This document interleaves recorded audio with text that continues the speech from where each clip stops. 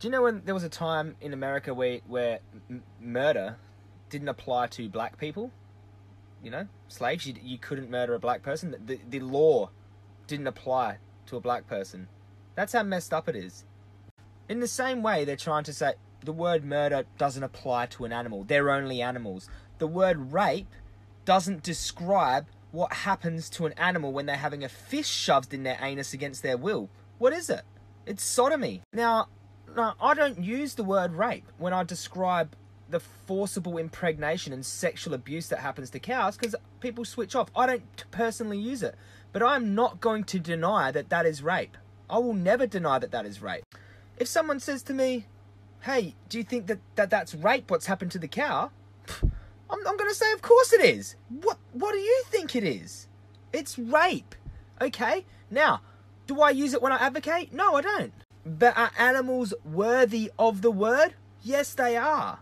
Yes, they are. Like, what do we? We look down at them that much that they don't even have enough dignity that we we can't even use these words to describe their plight. Like, what is that? We used to do this. We we do the same thing to human beings. We say that they're that race, they don't matter.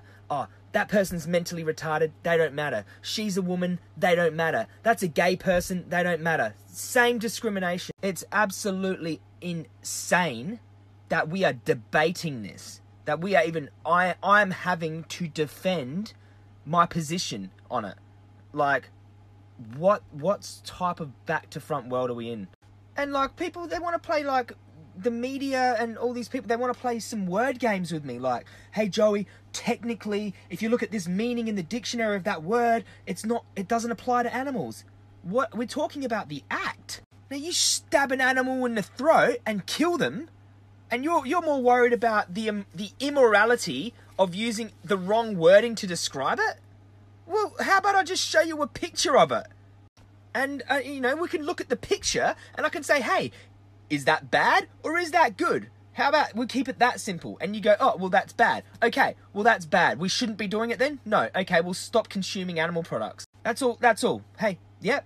We shouldn't be doing that to animals. We'll stop using them and exploiting them and killing them why this is the thing they do it's like a red herring they try to deter you from the core point okay with words. And and this is what the farmers try to do exactly the same thing. We go in there sit down i start talking about what the the sexual abuse that happens in the industry and they start going you can't call it rape. Are you going to address the fact that you're sticking your fist in a cow's ass are we going to even address that that you are slashing the animal's throats after shooting them in the head? Are we going to even address that, or do you want to have a little game about how we shouldn't be calling people names that that, that don't apply to animals? You know what I mean? It's just pure insanity. Now, I will never mark my words until I, the day that I die, I will never deny that animals are slaves. I will never say they're not slaves. They are slaves. And I will never, ever say that cows are not raped in the dairy industry that pigs are not raped in the pork industry. I will never say that because they are. Okay, I will never deny that because if we do, we are we are basically saying that they are not worthy of those words. Their their plight doesn't matter. Animals do not matter enough to use these words to describe their plight. Yes, they do. This is a massive part of what's wrong with us.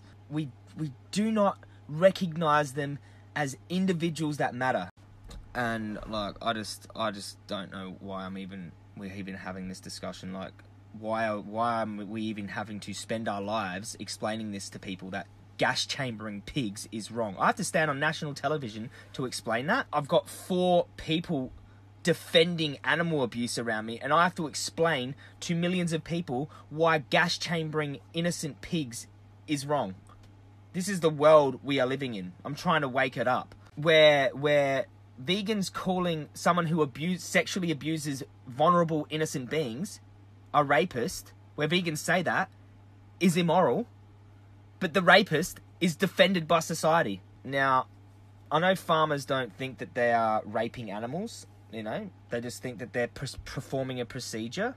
Now, and I, and I sympathize with that. They're, they're completely, you know, conditioned, indoctrinated, brainwashed. It's no measure of health to be well adjusted to a profoundly sick society, and that is what's going on with farmers. They don't even think what they're doing is wrong. People don't even think eating bacon is immoral. Uh, it, using animals is wrong at all. We are that adjusted to violence, to exploitation, to sexual abuse that we don't even think it's immoral.